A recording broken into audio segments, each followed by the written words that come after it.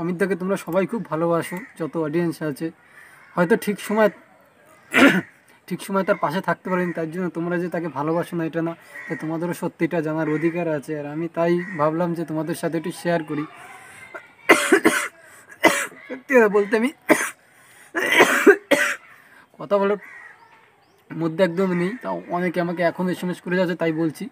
Main ব্যাপারটা হয়েছে আমাদের কলকাতা যাওয়ার কথা ছিল যেদিন অ্যাক্সিডেন্ট হয় সেদিনই কিন্তু আমি বলেছি আমি কলেজে যাব দুদিন পরে যাব। কয় ঠিক আছে দা কাকার সাথে আমরা কলকাতা একটু ঘুরবো। তো এই নিয়ে অ্যাক্সিডেন্ট হয়েছে। আমি শুনে আমার দমটম এত ভিড়ের মধ্যে আমার অসুবিধা হচ্ছিল। বসে পড়েছি একটা সিট নিয়ে তো অনেকক্ষণ ওয়েট করার পর দেখি অমিতদার মা আমাকে ফোন করে "আরে বড় বেটা তুমি কোথায়? আমার কাছে কেউ নেই তুমি আসো। কিচ্ছু বুঝতে পারছি না আমি ওই সময় ট্রেনের মধ্যে দিয়ে লাভ কাটবো না কি তাই অনেক কষ্ট করে আমি তাকে বললাম যে, তুমি নিয়ে ডায়মন্ডে আসো, আমি যাচ্ছি। এটা হচ্ছে ব্যাপার। এবার মেন ব্যাপারটা আমি যেটা জেনেছি, সেটা হয়েছে অ্যাক্সিডেন্ট হয়েছে বকখালিতে। বকখালিতে অ্যাক্সিডেন্ট হয়েছে। অমিতদা প্রতিদিন যেরকম বাবা মাকে ছাড়তে বাজারে যায়, সেরকম ছাড়তে গেছে। বাবা মাকে ছেড়ে আসার সময় মামা আর মামির সাথে দেখা, তো মামা মামিকে বলল যে, ওদিকে যাচ্ছ তখন আমি ছেড়ে দিই। মামা বলল, দে গাড়িটা আমার কাছে দে, আমি চালাই। তো মামা টোটো চালায় আর কি, স্কুটি কোনোদিন চালায় না ফার্স্ট টাইম আর ওই স্কুটিটা সব স্কুটির মতো না ব্যালেন্স আগে মাইন্ড থেকে ভাবতে হবে যে, আমি অত দূর থেকে আমি টানটা নেব। আমি শর্ট করে সামনে যে আমি হ্যান্ডেল ঘোরাতে পারব না। পুরো অনেক রিক্স চালানো, কিন্তু আমাকে সবসময় গাড়ি দিত, আর আমি চালাতাম আর অমিত দেয় তোমরা হয়তো ভিডিওতে দেখেছ। স্কুটি অমিতদের কাছে নিয়েছে অমিতদা তিন চারবার না বলেছে। এই যে ঘটনা, সে তার মামা আমাকে বলেছে, তার পাশের বেডে তার মাথা একটু ফেটে গেছে। সে আমাকে বলেছে যে, কি হয়েছিল? তো তার মামা গাড়িটা নিয়ে নিয়েছে। নিয়ে গাড়িটা চালিয়ে যাচ্ছে। গাড়ির পিক ছিল চল্লিশ। তো চল্লিশ পিক একটা গাড়ি, ওই গাড়ি এমনি যদি অমিতদা হতো কন্ট্রোল করে নিত কোনো অসুবিধা হতো না। কারণ অমিতদা পঞ্চাশে গাড়ি চালায়, যখন ফাঁকা রোড হয়। আর আমি যখন গাড়ি নিই, ফাঁকা রোড হলে আমিও পঞ্চাশে চালাই, ঠিক আছে? কিন্তু আমি ওই একদম এত সুন্দরভাবে ড্রাইভিং করতো। আমি নিজে ভাবতাম যে এত সুন্দরভাবে ওই রকম কীরকম ড্রাইভিং করে। যে যেহেতু চল্লিশে গাড়ি চালাচ্ছিল কন্ট্রোল করতে পারেনি। কারণ প্রথমবার ওই স্কুটি কন্ট্রোল না করতে পারলে পোস্টারে মেরে দেয়। আর অমিতার বুকে ওজন বেশি। পড়ে গেছে, যতটা আঘাত লাগার মাথায় লেগেছে। আর যেখানে পড়ে গেছে, সেইখানে মিনিমাম এক ঘণ্টা এখন ব্লাডিং হচ্ছে। কেউ ধারে আসছে না, যে যার মতন ফটো তুলছে ভিডিও করে বেরিয়ে যাচ্ছে। ঠিক সময় মতন যদি কেউ একটু তুলে নিয়ে যেত, তাহলে এতটা ক্ষতি হয়তো হতো না। যাই হোক, একটা কাকদ্বীপের দাদা তাকে দেখতে পেয়ে তাকে একটা গাড়ি পার্সোনাল গাড়ি করে কাকদ্বীপে নিয়ে যায়। কাকদ্বীপে দুটো টিটিনাস দেয়, তারপর বলেছে ডায়মন্ডে ট্রান্সফার করে দিয়েছি। ট্রান্সফার করার পর ধারে বাইরে বের করা আছে, বেডের উপর অক্সিজেন লাগানো, ধারে কেউ আসছে না। তার, তারপর আমি তার মা আমাকে ফোন করল। ফোন করে বলল, আমি তার অ্যাম্বুলেন্সের সাথে কথা বললাম যে, দাদা, তোমার পা হাত টাকা যা লাগায় আমি দেবো, তুমি নিয়ে আসো। হাজার হোক, বারো আসো যা লাগে আমি দেবো। বলার পর বলে, দাদা, এখানে কেউ নেই, কে ধরবে? ধরে তো পেশেন্ট তুলতে হবে তুমি হাত পা ধরে তুমি নিয়ে এসো, আমি এখান থেকে বারুইপুর থেকে আমি ডায়মন্ডে যাচ্ছি। ততক্ষণে সায়ন আছে, সায়ন চলে গেছে, হাজার টাকা দিয়েছে, একটা ফ্যান দিয়েছে আর কি, হাজার টাকাটা দিয়ে অ্যাম্বুলেন্স করে নিয়ে ডায়মন্ডে ঢুকেছে। সবাই বেটে রেখেছে আর আমিও তখন গেছি। যে আমি অ্যাম্বুলেন্সের টাকাটা দিয়ে দিই। আর দাদা অনেক হেল্প করেছে, যে কাকদ্বীপ থেকে গেছে, এত পরিমাণে হেল্প করেছে প্রচণ্ড। আমি তো নতুন ছিলাম আর আমার দাদাও আমি ফোন করে ডেকে নিয়েছি। আমার যে দাদা এসেছে। তিনজন মিলে যখন আমি ভিতরে গেছি, তখন তিন, দুটো টিটিনাস দিয়েছে সেলাইন চলছে। তারপর ওখান থেকে বলল, নতুন বিল্ডিংয়ে নিয়ে যাও। নতুন বিল্ডিংয়ে নামিয়ে যখন গেট থেকে নিয়ে যাচ্ছি লিফটের সময় তখন নাক আর মুখ থেকে গল গলে রক্ত বেরোচ্ছে আর আমি মাথা জাগিয়ে রেখেছি, আমার হাতে পাতে পড়ছে। শুধু চোখ থেকে জল পড়ছে। আমার দাদা ধরে আছে আর সায়ন ধরে আছে, দুজন ঠেলছে, এই মাথাটা জাগিয়ে আছে। অনেক তাড়াহুড়ো করে নিয়ে গেছি, নিয়ে ব্লাডিংয়ের রক্তগুলো পাইপ দিয়ে ওয়াশ করে বার করল, কিন্তু তাও রক্ত বেরিয়ে যাচ্ছে। ডাক্তার বলছে নাইনটি নাইন পার্সেন্ট অবস্থা খারাপ, এক পার্সেন্ট বাঁচার আশা। শুনে আমি ওখানে ও অবস্থা খারাপ হয়ে গেছে। সামনে আমি খুব কান্না করছিলাম, আর আমি সবার সামনে আজ কান্না করতে পারি না। তারপর আমি ওই অবস্থায় এখন বাইরে আছি।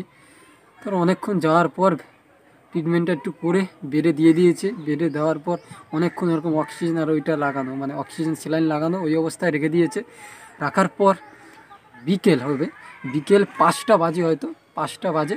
শঙ্করদা এসেছে তপুদা এসেছে, আর এসে মিঠুনদা এসেছে, সবাই এসেছে, এসে ঘটনা, তো শঙ্করদাকে টিকিট নিয়ে ভিতরে গেলাম। শঙ্করদা ডাক্তারের সাথে কথা বলল যেরকম ফেলে লাগলে তো হয় না, আমি রুগীটাকে ট্রান্সফার করে নিয়ে যেতে চাই, নিয়ে যে কলকাতায় চিকিৎসা করতে চাই তখন আমাকে একটা কথাই বলেছে, দেখো যদি রুগী নিয়ে যাও মানে শঙ্করদাকে বলছে, তুমি যদি রুগী নিয়ে যাও, তোমাদের একদম মানে তোমাদের রিক্সে নিয়ে যেতে হবে। রুগী নামাতে নামাতেও চলে যেতে পারে, সেটা তোমাদের রিক্স তখন শঙ্করদা বলছে, বাড়ির লোক কেউ নেই, আমি রিক্স নেব। একদমই ঠিক, আমিও বলছি, কেউ নেই, কেউ সাথে আলোচনা করার মতন নেই। তা ওই রুগী এরকম আছে, বলে এখন আপাতত এখানে রেখেছি, যদি একটু সুস্থ হয় আমরা ট্রান্সফার করে দেবো। আমরা রুগী রাখব না ডায়মন্ড থেকে বলছে, রাত যখন আমাদের যখন দাদারা বেরিয়ে যায়, কথাবার্তা বলে টুলে বেরিয়ে যায় সবাই, তখন রাত সাড়ে আটটা হবে হয়তো, মনে নেই এরকম তখন আমি ডাক্তার বলছে যে একটা যদি সিটি অ্যাকশন করা যায়, জানা যাবে যে কী হয়েছে। আমি বললাম, সিটি অ্যাকশন করা গেলে তো হবে না, কিন্তু করে নিয়ে আসো তাহলে, বলে প্রচুর রিক্স আছে, তুমি যদি রিক্সটা নিতে চাও, আমরা রিক্স নিয়ে করে আনব। আমি বলি ওখানে ফেলে রাখলে ভাইটাকে হবে না, তুমি নিয়ে যাও, নিয়ে করো। আমি নিজে গেছি আর আমার সাথে আর একটা আমার সায়ন বাড়ি চলে গেছে তখন। আর একজন বন্ধু ছিল দুজন নিয়ে আর একজন ছিল তিনজন নিয়ে টোটাল গেছি যে সিটি অ্যাকশনটা ভালোভাবে করি উপরে নিয়ে এসেছি। নিয়ে আসার পর আমাকে দেখাচ্ছে এত পরিমাণে ব্লাড জমে আছে। কারণ যেখানে অ্যাক্সিডেন্ট হয়েছে সেখানে এক ঘণ্টা পড়ে আছে। কেউ আসেনি ধারে তার ভাইটা কাক দিবে মাত্র হাজার টাকার জন্য অ্যাম্বুলেন্সে তুলছে না। আমার চোখ থেকে শুধু জল পড়ছে। সায়ন গিয়ে তারপর নিয়ে এসেছে তারপর ওখানে চিকিৎসা করছি। আমি একটা কথাই বলব মানুষ অ্যাক্সিডেন্ট হয়ে পড়ে থাকলে কুকুর হোক বিড়াল হোক মানুষ হোক সত্যি যাও আজকে আমি পড়ে আছি কালকে আরেকজন পড়ে আছে কোন দিন দেখবে তুমি পড়ে আছে কেউ এরকম যাবে না। তো এরকমভাবে মানুষ চলে যাবে। যদি তোমরা পাশে থাকো সাহায্য করো টাকা পয়সা না এমনি যদি সাহায্য করো অনেক জীবন বেঁচে যাবে। এটাই। তারপর আমি রাহুলদা এসেছিল। তারপর রাহুলদা ফোন করেছে আমাকে রাহুলদা চলে এসেছে। রাহুলদা আসার পর আমরা ভিতরে গেছি। তার রাহুলদা আসার আগে আমি সিটি অ্যাকশন করিয়ে নিয়েছি। রাহুলদা এসেছে, রাহুলদাকে নিয়ে গেছি। তারপর আমি আমাকে ডাক্তার পার্সোনালভাবে বলছে যে, দেখো, যা ব্লাড জমে আছে, এখানে চিকিৎসা ভালো হবে না। তুমি যদি কলকাতা চিত্তরঞ্জন বা ওদিকে নিয়ে যাও, ভালো হবে।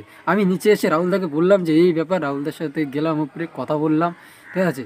তারপর নিচে অনেকক্ষণ দাঁড়িয়ে দাঁড়িয়ে বললাম। তারপর আমি ডিসিশন নিলাম যে, বাড়ির লোকের কাছে মানে দিদি আছে, বাবা আছে, বাড়ির লোক বলতে মা মা কিছু বোঝে না, ঠিক আছে? বাবার সাথে আলোচনা করলে করে টোরে বলছে যে হ্যাঁ কলকাতা নিয়ে যাও পারমিশন দিয়ে দিয়েছে, কলকাতা নিয়ে যাওয়া আর সিটি অ্যাকশানের যে রিক্সে পারমিশনটা সেটাও আমি বাড়ি ফোন করে ডিটেলস বলেছি শঙ্করদাকে বলেছি, সবাইকে বলেছি ফোন করে। সবাই বলেছে, দেখ ভাই, একটু রিক্স তো নিতে হবে, তাই নিয়ে নে তুই তুই তো ওখানে আছিস। ঠিক আছে, ফোন গাড়িতে ফোন করেছি, বাড়ির লোকে বলছে, দেখ, তুই এখানে আছিস, তুই যেটা ভালো বুঝিস, আর আমাদের তরফ থেকে এখন এরকম ফেলে রাখলে আস্তে আস্তে রুগী শেষ হয়ে যাবে, তাই তুই একটু রিক্স নিয়ে যা, আমরা তো সবাই সাথে আছি। সিটি অ্যাকশন এইভাবে করিয়ে এনেছি। তারপর পুরো ডিটেলস যে কলকাতা নিয়ে যাব, ডাক্তার যেই বলেছে যে যে রুগী একটু ভালো হবে, ওইখানে নিয়ে গেলে। আমার মাইন্ডে শুধু এটা, আমি শুধু বলছি রুগী ওইখানে গেলে ভালো হবে একটু। ওইখানে নাও প্রাইভেটে পাবে বা দিদি বলছে যে প্রাইভেটে ভর্তি করবে। আমি বলছি যেখানে হোক, কলকাতা নিয়ে চলো। অ্যাম্বুলেন্স ঠিক করে রেখেছি রাহুলদা দাঁড়িয়ে আছে পেশেন্ট নিচ থেকে নামাচ্ছি।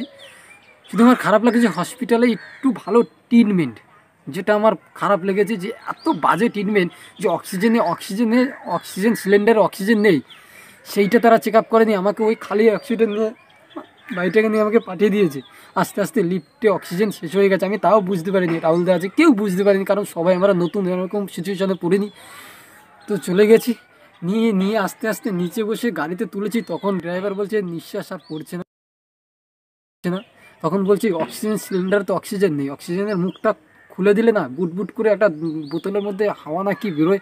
বলে, দেখো, পুরো ঢিল করে দিয়েছে, এক ফোঁটা বুট বুট করছে না, অক্সিজেন নেই, তোমার অক্সিজেন অনেক আগে শেষ হয়ে গেছে, তাই রুগীর এই কন্ডিশন আর সব জায়গায় যত ডাক্তারের কাগজপত্র আছে, একটু সাইন টেন করতে পারলে এখানে কেউ নেই, আমি সাইন টেন করেছি। এবার বাড়ির লোকের সাথে কথা বলেছি, ঠিক আছে? কথা বলে, আমি উপরে যে বলছি, অক্সিজেন শেষ হয়ে গেছে, তোমরা কেন চেক আপ করি তখন বলছি, এইটু ওইটুকের সময়ের মধ্যে কি রুগী চলে গেছে, তুমি এরকম বলছো আমাদের। আমি বলছি, কোন সময় রুগী গেছে যাই না আমি তারা বলছে, তোমাদের তো বলেছি, রিক্স আছে, উল্টে আমাদের প্রেশার করছে, আমি আর কিছু বলতে পারিনি। ঠিক আছে? তাই এরকমভাবে অমিত দা আমাদের থেকে চলে যায়। অমিত অমিতদা সবসময় আমাকে বরুণদা বলতেই ডাকতো, ওর মা আমাকে বড় বেটা। এখনও আমি অমিতদাকে অমিতদা বলেই ডাকতাম। মানে আমাদের মধ্যে ভাই ছিল না। খুব খারাপ লাগছে। একটা কথাই বলব, যারা গাড়ি চালাও, খুব ভালোভাবে গাড়ি চালাও জীবন এইটুকখানি। আর মধ্যবিত্ত পরিবারের বাবা মা যাদের কোনো কষ্ট করে গাড়ি করে কিনে দেয় তারা অবশ্যই হেলমেট পরে সাবধানে গাড়ি চালাবে। কারণ তুমি চলে গেলে একটা পরিবার মানে যারা বন্ধু বান্ধব সব অসহায় করে গাড়িটা ভালো করে চালাও। এই যুগে টাকা না থাকলে কোনো দিন ভালো পেটেও বাঁচিয়ে আনা যায় না। অটোমেটিক আর আমাদের চিকিৎসা ব্যবস্থা অনেকই খারাপ যে সরকারিভাবে। তো আমি বলছি, একটা কথাই যে গাড়ি ফাড়ি ভালো করে চালাও, আর প্লিজ যদি রাস্তায় কোনো খারাপ রুগী টুগি দেখো ওরকম পড়ে আছে, একটা ফটো তুলে চলে যেও না। এত সোশ্যাল মিডিয়াভাবে হয় না। তোমার একটুখানি যদি হেল্প যদি পায়, একটা রুগী বেঁচে যেতে পারে, একটা পশু পাখিও বেঁচে যাবে। তাই একটু পাশে থাকো। আর সব বাংলা কমিটির যে ইউটিউবাররা আছে, যেরকম শঙ্করদা তপুদা তারপর রাহুলদা সবাই প্রচণ্ড রাহুলদা এসেছিল, তারপর সন্দীপদা এসেছিল, অনেক এসেছিল রাত্রিবেলা শিবদা এসেছিল, আর অনেক এসেছিল। আমি ভাই নাম এত জানি না, আর আমি সেই পজিশনে ছিলাম না। আমি হয়তো তখন বেউসি হয়েছিলাম শ্মশানে। আমার জ্ঞানই ছিল না তখন। তো সবাই এসেছে আর টাকা পয়সার দিক থেকে তখন অনেক একদম হেল্প করে দিয়ে গেছে অনেকে যখন নেই কন্ডিশানে টাকা পয়সা যখন দরকার ছিল আর কি হসপিটালে হয়তো কেউ জানে না আমি কাউকে দোষও দিচ্ছি না। তখন যদি একটু টাকা পয়সার পাশ থেকে আরও বেশি সাপোর্ট ফাপোর্ট পেতাম আর পরিবারটা যদি, বাবা যদি ভালো হতো, অমিতদা, তাহলে অমিতদা আজকে আমাদের মধ্যে মধ্যে থাকতো। কারণ বাবা থাকতে ছেলের কোনোদিন চলে যেত না। সে সমস্ত চেষ্টা দিয়ে তাকে যেরকমভাবে হোক চিকিৎসা করাতো। হাতের উপরে আমার হাতের উপরে নামাতে নামাতে। চলে গেছে একবার বলেও যায়নি। লাস্ট ডাক, একবার বরুণদা বলেও যায়নি। মায়াপুর ঘুরবে, যাবে, কেদারনাথ যাবে, ইউটিউবের ফার্স্ট পেমেন্ট আসছে। প্রত্যেক দিন একজন যদি ফোন করে মানে যা হতো সমস্ত কিছু। একজন যদি পঞ্চাশ সিট আমার নাম্বার দিয়ে দিত আমার দাদার সাথে কথা বলো, আমার দাদাই সব। আর কেউ বলবে না বন্ধু বান্ধব বলতে আমার একজনই ছিল। চলে গেছে। একা হয়ে গেছি। যাই না ধারা থাকবে করে প্রতিটা স্মৃতি জুড়ে আমারও আছে। এক একটা স্মৃতি জুড়ে আমারও সব সময়।